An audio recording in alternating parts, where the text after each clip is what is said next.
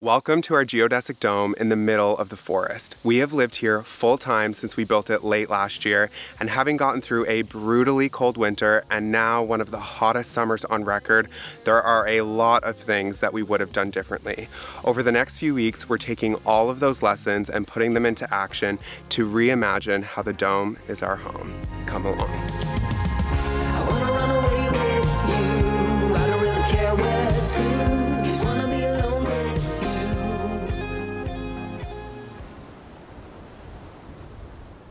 So before we can get started on anything today, the very first thing that we needed to do was move everything that we own inside the dome outside the dome. So hopefully it doesn't rain over the next couple days because we don't really have anywhere to store it. No backup plan for that one. No. And then we got started on putting together this scaffolding. So the dome is 15 feet tall, and if you remember when we built the dome originally, we were kind of playing it fast and loose with a little bit of a janky scaffold, so. Yeah, it's a little bit more, I guess, safe. We're not very comfortable at height, so we just feel more comfortable with this one because it has the guardrail and you can get through it without going around on the side. Yeah. So it should make it quicker and easier. I think it's gonna be, the hardest part is gonna be getting the old liner down. So this one went up in one piece, so then it has to come down in one piece. We're gonna be insulating the geodesic dome today and making it much more comfortable, not only for the winter, so if you see all this smoke damage here, that's because the cold of the exterior of the PVC of the dome mixing with the smoke and condensation created this nasty mess. We're gonna finish getting the scaffolding together and start tackling this. It's liner. gonna be super easy. I got two knives and we're just gonna cut the ties and drop it. I think that'll work. Hopefully.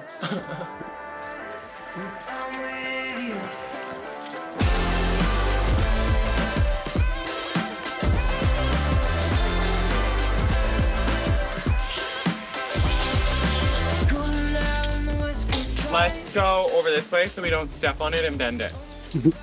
Just like everything we own in the yard. This is why we can't live in subdivisions. We would be those neighbors. we really would. Okay, so are we cutting it with scissors? Yes.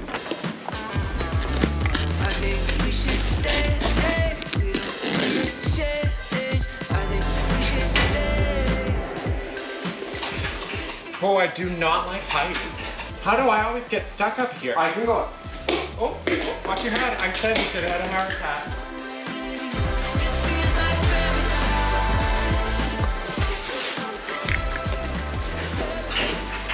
I feel like I'm on an Easter egg hunt.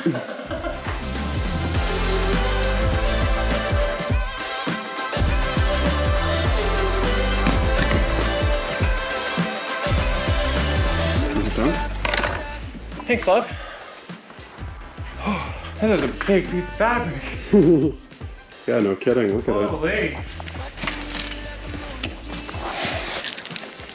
Ooh. Okay, I'm going back up.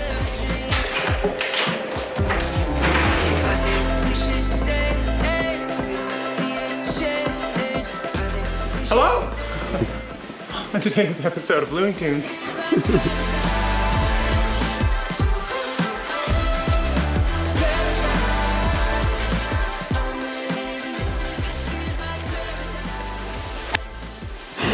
you want to take a break? How do you feel? I feel very accomplished. Like, that went pretty smoothly, I think. Wouldn't have been able to do it without cutting. No, there's no way. It looks so good. All right, let's make some food. Okay. There is no fancy lunch here for us today. We are just doing some instant noodles quickly because that was a lot of work getting that down. I mean, it went a lot smoother oh. than, you okay? It's hot. yeah, hot soup probably wasn't the best idea when we're in a dome that's like at least 35 degrees in there. It's so warm. Holy Oh. smokes. So, It's but gonna be really good to get the insulation up. yeah, and it went a lot smoother than I thought it was. So that's kind of motivating. Plus, so is living like this. It motivates us to get the work done so that we get back in there. Are you staring off into the distance trying to find a way to run? Oh my god. It's just always the most amount of work. Always. Some would say we do it to ourselves. Oh yeah. They would be right.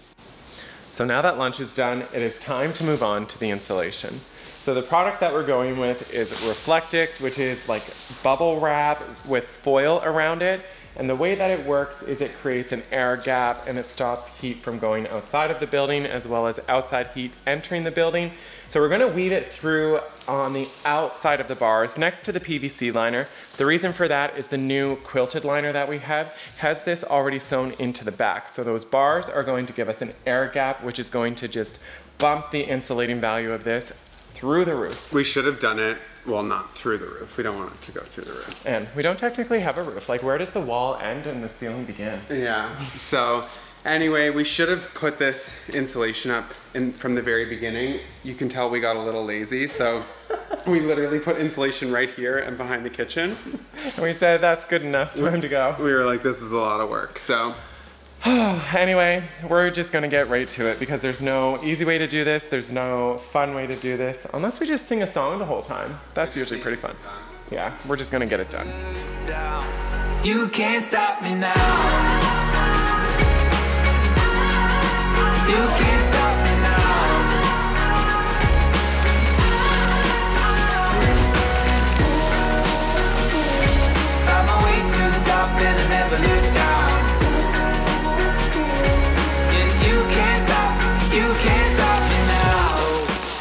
Only friend I had was my headphones.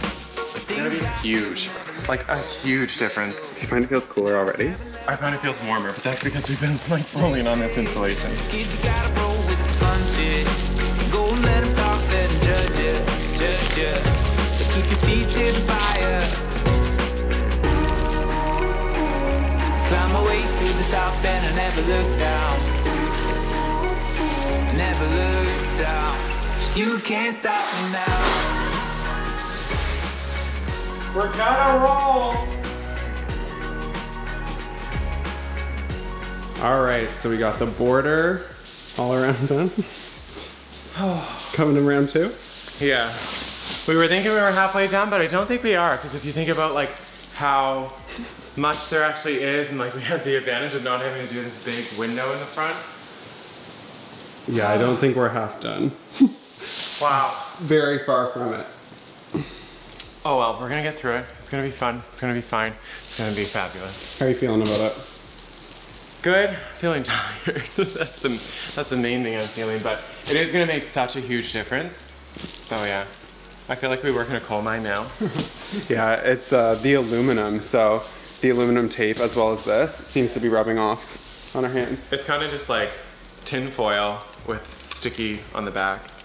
Should I have it on my face? Yeah. I'm sure I do too, probably.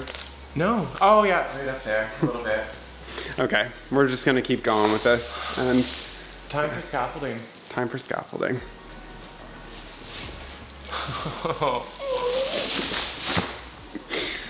God, I wish Mel was here with the excavator to lift this all the way up for us. It's just me and you, boo. Scraping up my knees in the schoolyard.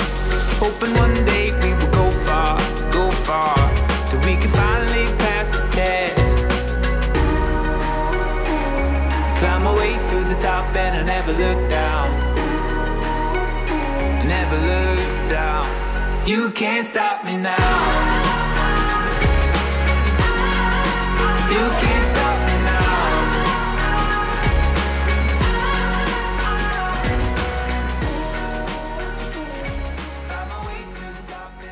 So it has been several hours of pulling this insulation through the bars, and I would say we are successfully halfway done the that liner. But our brains are mush, our bodies are sore, so I think we're gonna call it here for the day because it's been a lot. Yeah, this is definitely more challenging than we thought that it was gonna be. You got smuts on your face. And we're just covered, so. Plus, we still need to get our home for the next couple nights figured out. So We made the decision. It doesn't make sense to stay in here. It's just gonna be a mess. Like, it's hard living in Renos. Yeah. And then we've got Charlie and Eddie and Lily, and that just adds more complications. So right now they're with Todd's parents, so shout out Yeah. to Tim and Sue for babysitting for the day. So. yeah, they love it down at Grandma and Granddad. So anyway, we are gonna go set up our home. So normally not being in the dome for a few nights really wouldn't have been a big deal at all because we would just would have stayed in the RV. On the really hot nights, normally we come down and stay in the RV anyway. But as you can probably see, it's not here. and that is because it's broken. It's really disappointing. The ceiling and the slide are both leaking. We've tried really everything that we can to repair it. You may remember when we did the RV renovation series, we had to replace that whole roof with insulation and all of that, and it didn't work. So, we are setting up a tent instead. How do you feel about it here? Because I figured this way where it's Yeah, I the think- door is west facing, we'll get the most amount of natural light in the evenings when we're primarily going to be in it. Todd's always planning ahead. Okay, let's set this up, I guess. Stake out the guy lines for each corner as you set each pole. So that's these. How's that? So what is it you have to, oh, out this way. Yeah. Look at the blueberries. Might have a late night snack. Needs some more sweetening. Hmm. Still a little bitter.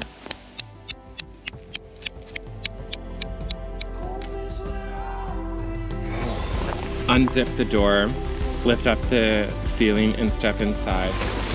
Wow, we can almost do cartwheels in here already.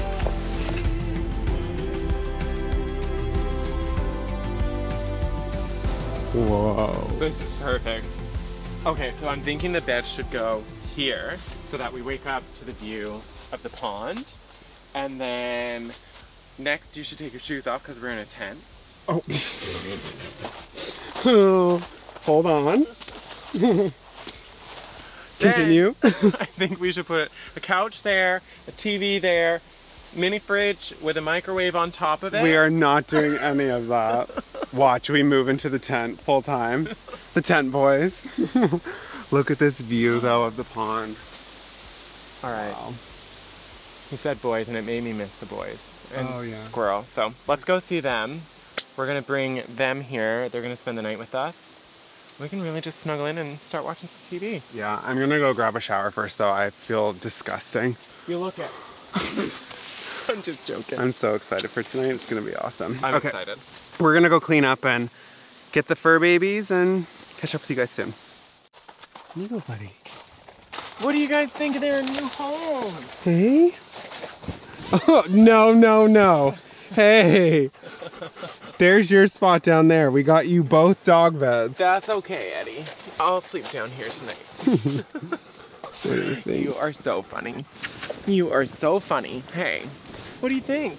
So normally we save Harry Potter movies for Christmas. It's kind of like a tradition that we have every Christmas Eve we watch Harry Potter, but we're gonna make an exception because this this tent just like reminds us of it. So Pulled it out of Hermione's purse. Yep. So that's what we're doing tonight, hey buddy. Oh, you're my good boy. What do you think? Huh? Are you excited to sleep in a tent? Huh? One tent to another. It's a beautiful night. The moon, you can see it from here. It's just it's beautiful. So It's gonna be a good time. I'm excited. I'm actually really excited for this because I feel like the summer's just been so busy that we're not gonna get out camping in the RV. So Yeah. we're gonna get to experience camping in the yard. Hey, Eddie. all right. Well, we're gonna let you guys go and enjoy our night, and we'll see you in the morning. Between the blow up mattress last night and having our hands above our heads doing all this insulation yesterday, we are definitely feeling a little bit sore. Oh, just a little. But I think we're on the, I was gonna say the home stretch, but we're really just starting. I don't know. I'm trying to be optimistic today. We're up bright and early before the sun gets out because it's supposed to be like 34 degrees today. So we're trying to get as much done as we can. So I think we're just gonna pick up here at the stove because this is our hardest part. Yeah. So I feel if we get the hardest part, like around that pipe done early, then it's smooth sailing for the rest of the day. I'm sure none of you believe that. but that's what we're gonna go with. So we're just gonna get get going on it. Yeah, let's get to it. Let's do it. Do you want me to get started on seams? Sure. or to take out and get rid of all this space. All this space. So I want to try something bring the whole spool into the window because for this section, uh, instead of like pulling down and having squares, I want to try and pull up and see if it's any easier. Get rid of all this space. All this space. Killing me. It's so difficult. Yeah.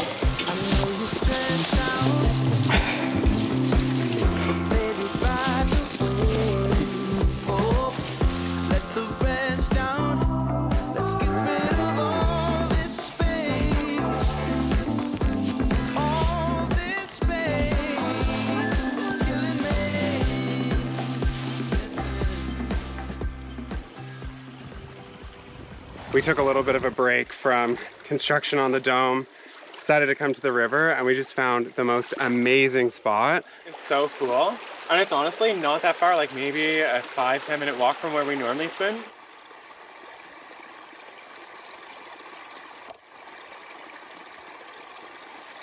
So we ended up setting up camp here. I mean, what's not to love? We've got three streams converging into this swimming area, and in number three, if you can see that, Todd decided to make what did you call it? An off-grid, Plunge pool. an off-grid plunge pool. I dug you a spot too if you want to come join. Yeah, I think I'm gonna come join you. I just wanted to update them on what we've been up to.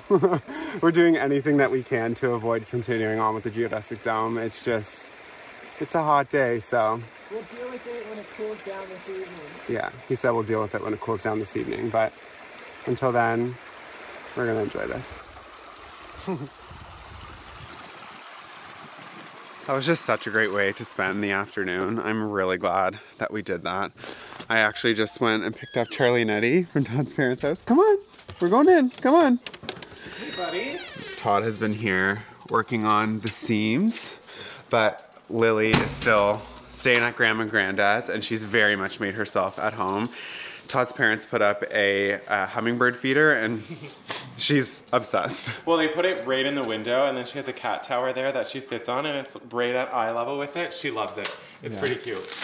So we obviously are just continuing on with this. I think this is gonna be the theme of the night. Yeah, we did quickly want to say though, if you're watching this and you're planning on building a geodesic dome at all in the future, make sure you do the insulation from the beginning. This is way more difficult because of us not doing it right from the beginning. And it made our winter much more difficult than it needed to be as well. So Yeah. um, Just yeah. do it right the first time. Don't cut the corners like we did. Yeah.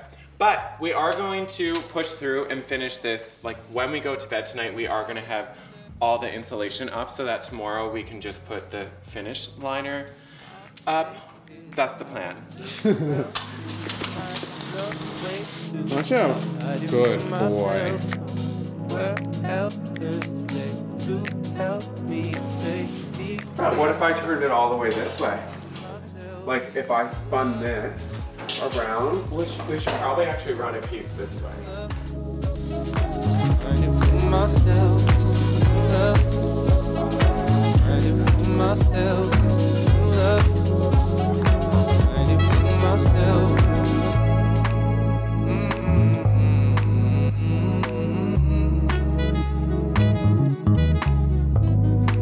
Walking up the path, there the green is what I'm seeing. All right, it is 11:35. We have just put the last piece of tape on the insulation liner, and we are ready for bed. I think. Nothing left to give. Holy moly. Yeah. Well, it does look good. Yeah, Like- I'm, I'm really, really happy with how it came together. But um, Bedtime. wow, yeah, bedtime. I Alright. Want to get a good night's sleep so we can wake up and do the liner tomorrow. I'm really excited about it. All right, we'll catch you guys in the morning. I'm thinking we start up here and then spread out. Okay. What do you think? Sure. That sounds good. It's also numbered number one, so that probably means start at one. it's like a freaking body bag.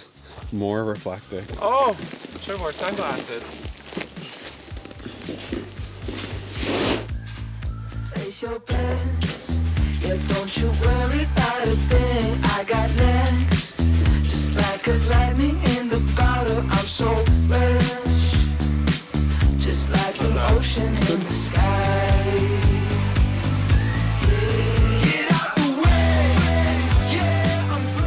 Okay, so what we're doing now is we're going to install a fan at the top of the dome. The reason for this is because last year we found that all of our heat was sitting up there, so by having... Sitting up here right now.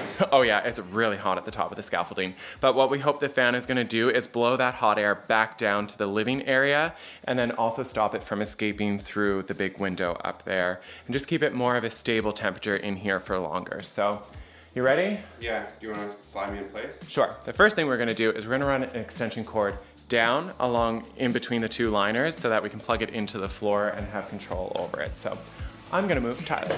I think bring the fan up first. Plugging it in to test it? Yeah.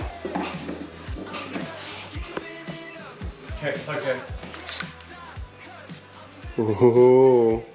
I can't even begin to explain the temperature difference in here. That fan has lowered it by at least 10 degrees, hey? Oh yeah, it's making a huge difference. Yeah, we're having very big regrets that we didn't do this when we originally built the dome. But yeah, like this, it's, I mean, everyone said it in the comments. If you have high ceilings, you need to have fans to circulate the air. But I just truly wasn't expecting this much of an impact. I don't know. I thought it was just a gimmick from the fan industry.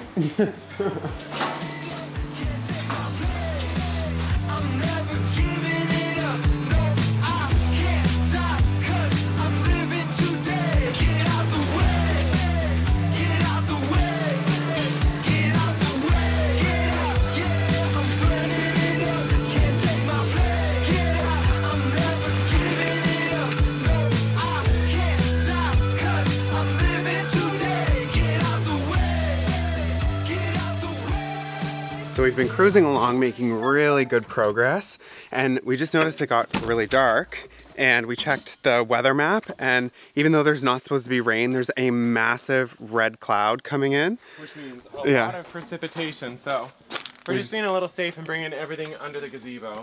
Um, I can run up and get the big brown tarp too and we can put it over. Sure, do you wanna do That- that? yeah, that might be faster. Okay.